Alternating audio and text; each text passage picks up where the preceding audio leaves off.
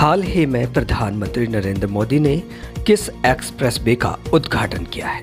प्रधानमंत्री नरेंद्र मोदी ने मंगलवार को उत्तर प्रदेश के साथ देश को पूर्वांचल एक्सप्रेस वे के रूप में नायाब दिया। उन्होंने 341 किलोमीटर लंबे पूर्वांचल एक्सप्रेस का उद्घाटन किया।